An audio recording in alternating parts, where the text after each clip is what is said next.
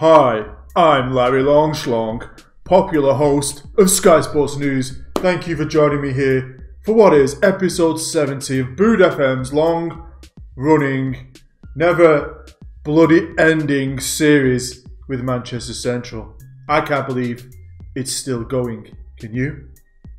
Do you? I don't watch it. Do you still watch it? Still watch it. anyway, Buddha asked me to do the intro mainly because he's away arranging his transfers. He says he has a lot to share with you later on in the show. At the very end of the show, live on Sky Sports News Live, we've got a match Leicester City versus Manchester Central kicking off their Premier League campaigns.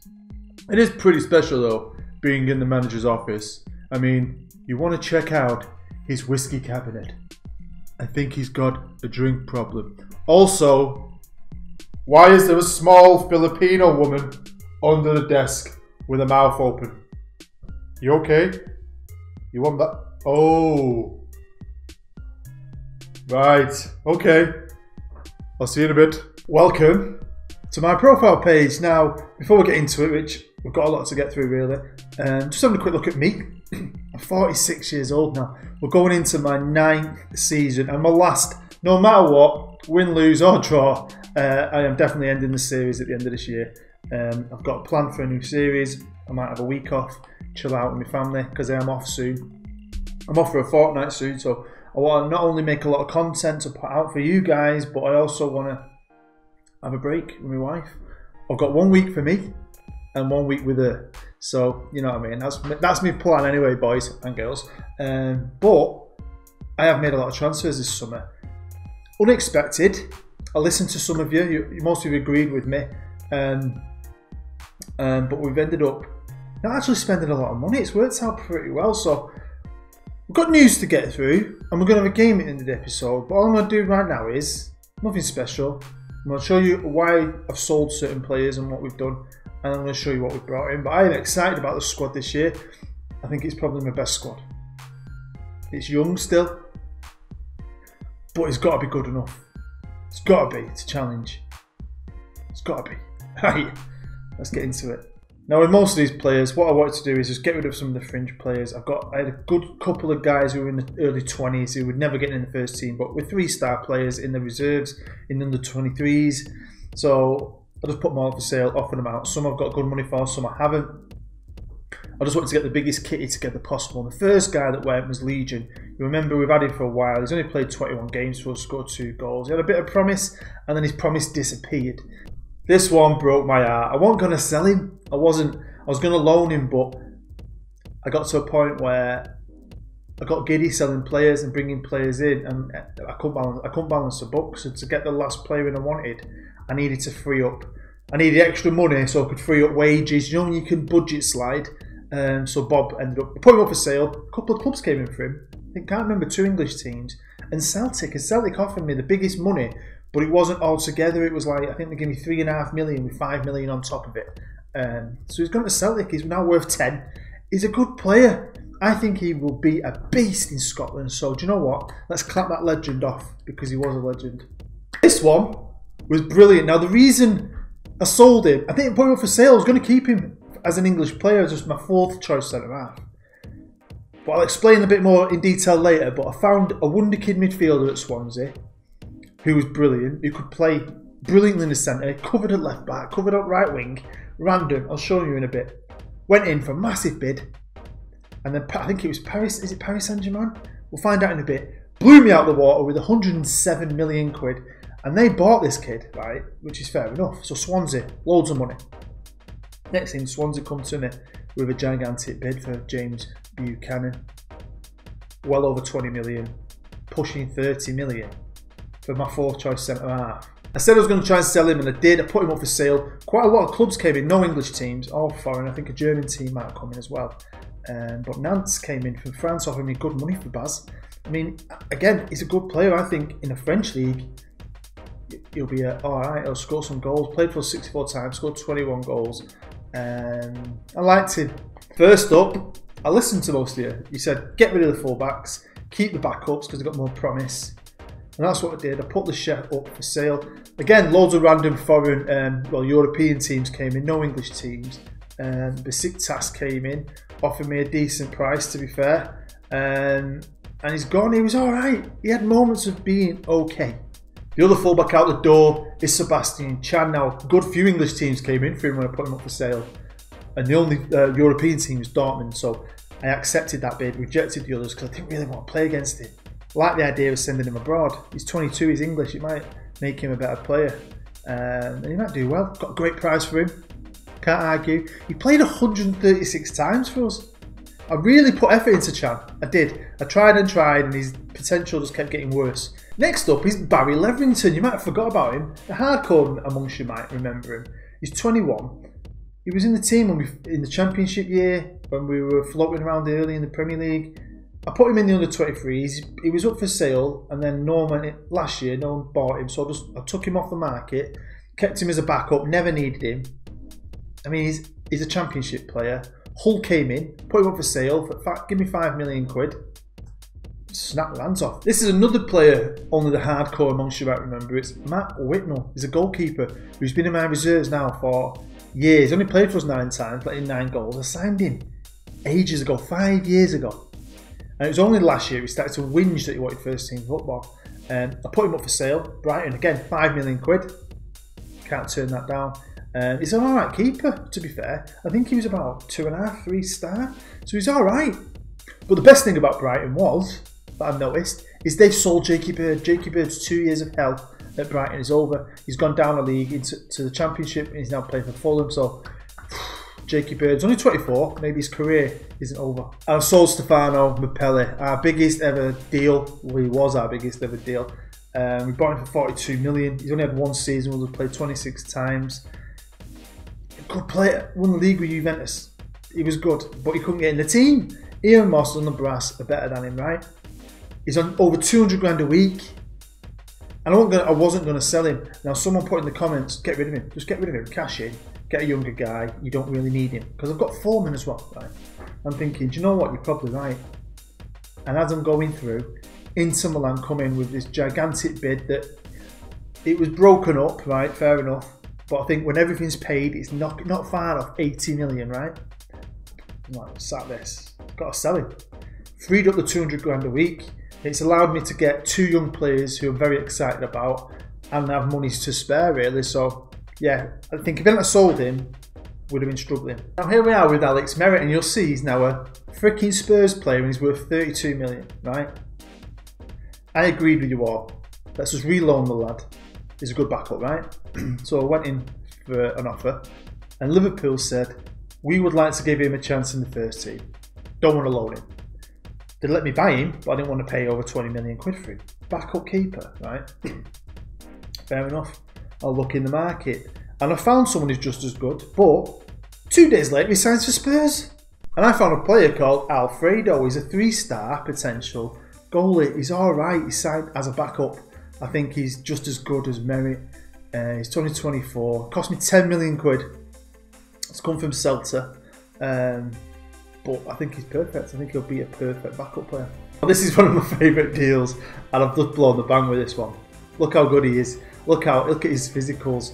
This is a world class right back. He's Dutch, and we got him from Arsenal. And the reason he got it from that, he cost a lot of money.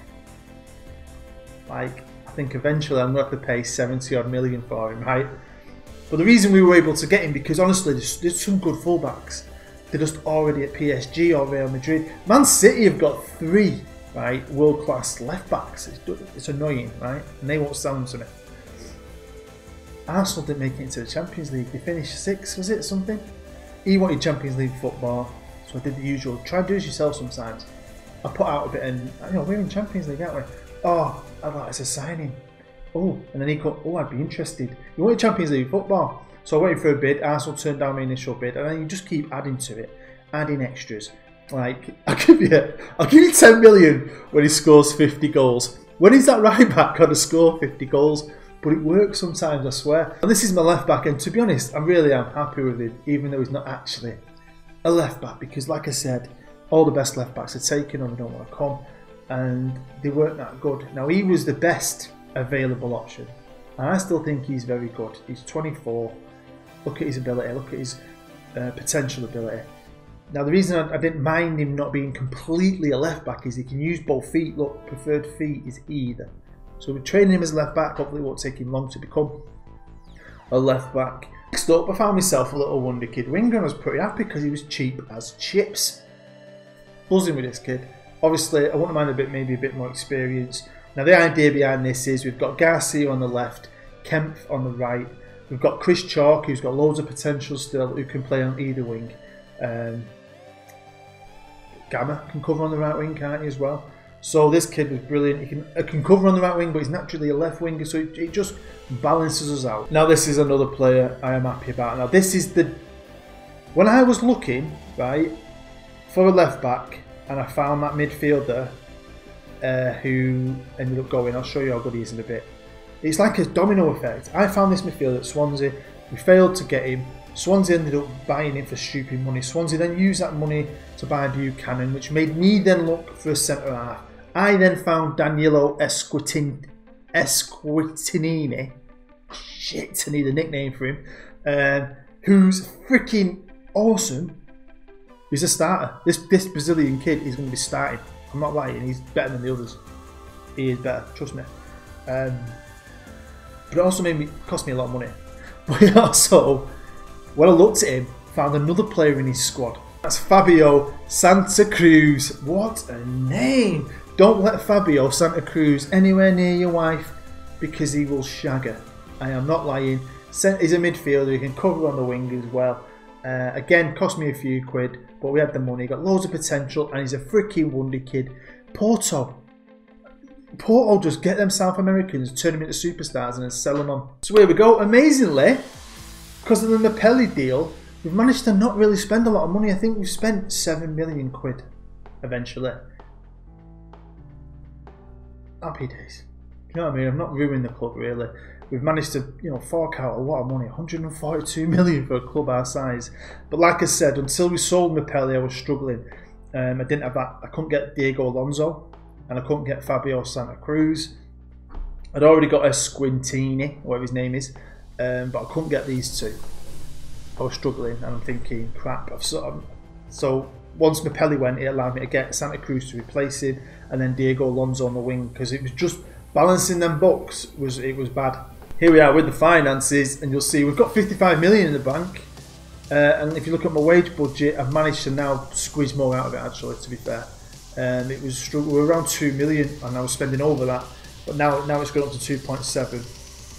Apparently, the club have predicted to fail the Premier League FFP player wage rise regulations.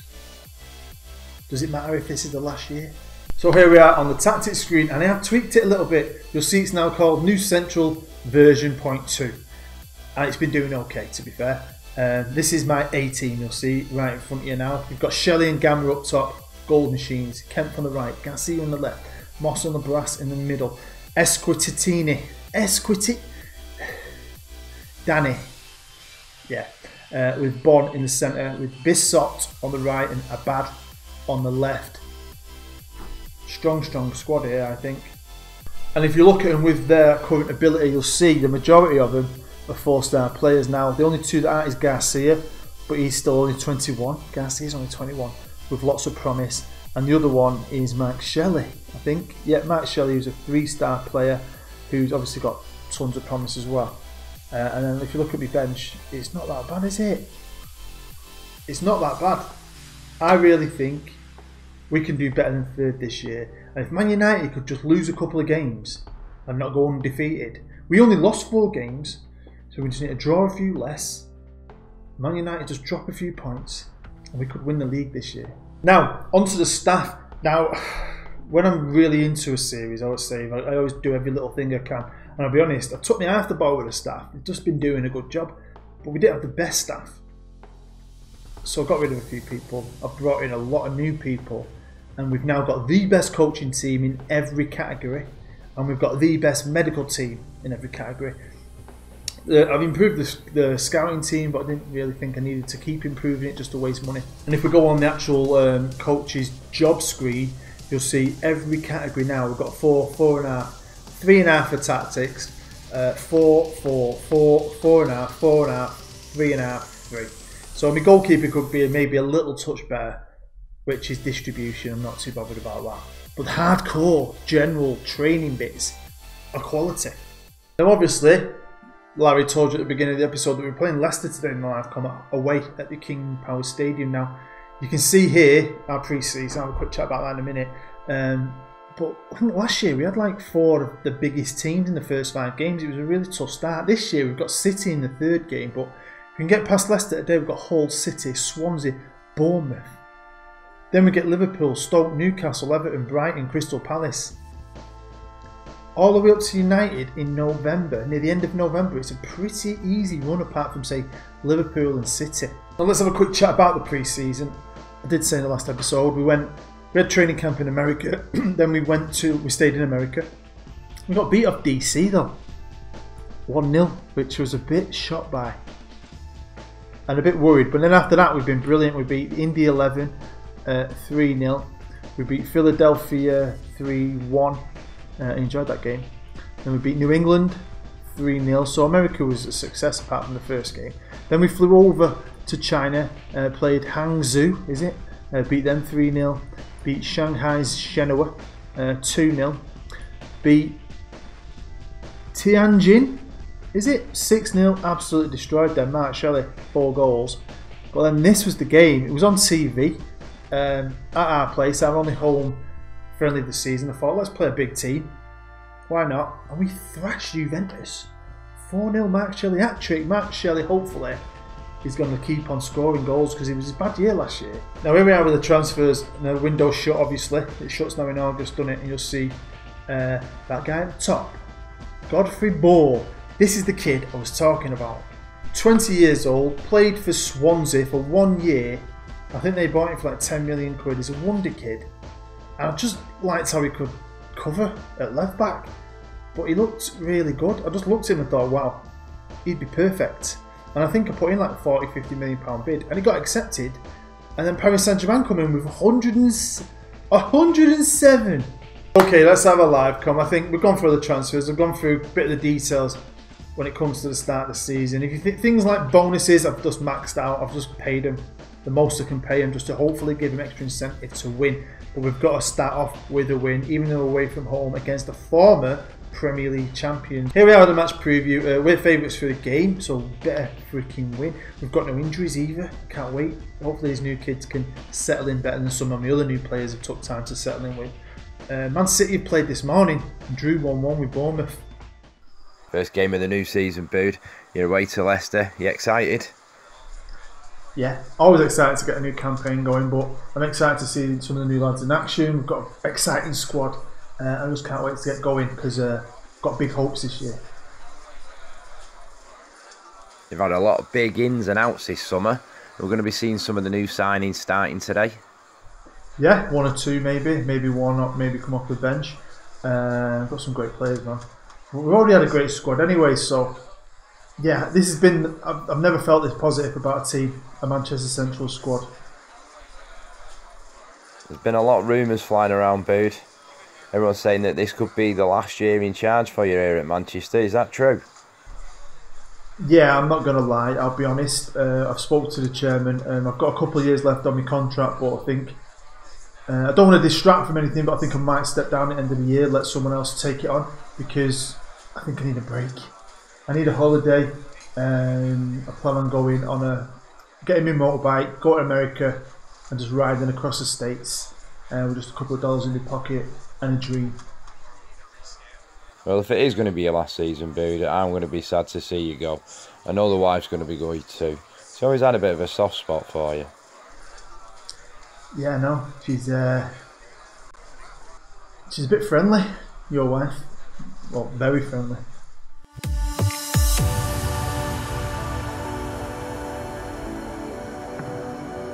So here we are at the King Power, and here's the team lineups. Um, starting to get more regens in teams now, are? This, this save's gone on. Is it the ninth year? Crazy, really. I can't believe I've been doing this since November. Um, I'm going to be serious. I'm going to be assertive and just, just keep it simple. I'm expecting you to win. A couple of greens, Let's do it. Here we come out the corner. Oh, I'm excited for this season, I can't lie. Uh, maybe you don't agree. I know uh, one of my good friends, Dave, who said in the comments he wanted me to buy some experience.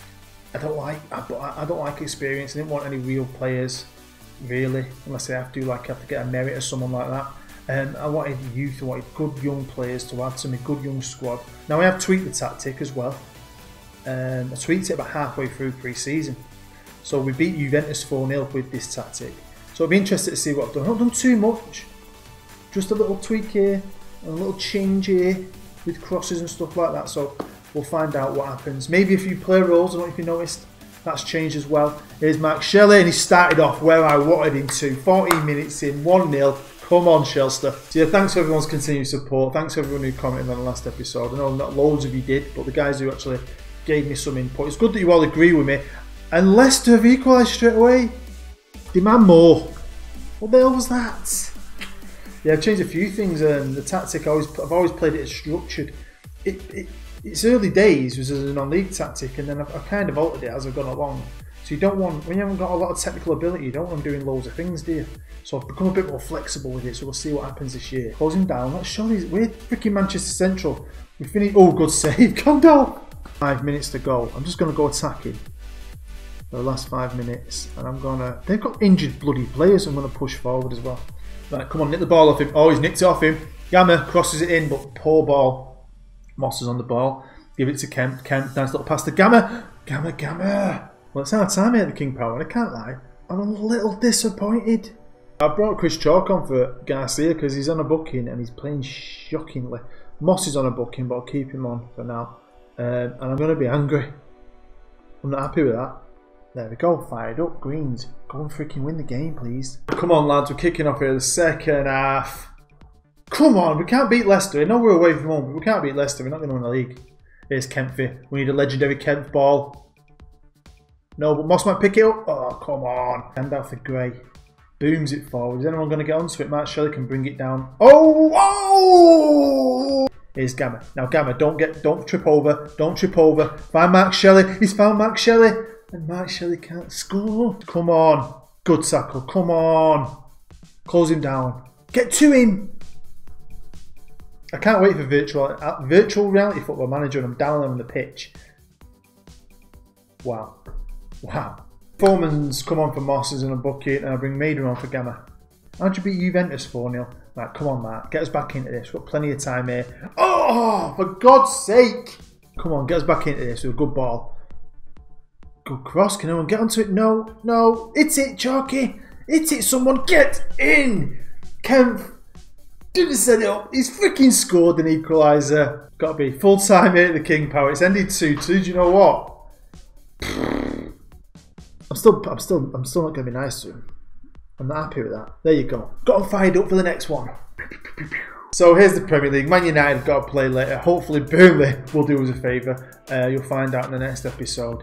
This won't get a beat. Hey, we can build on it. Right then, episode 71. It's all about the Premier League this year.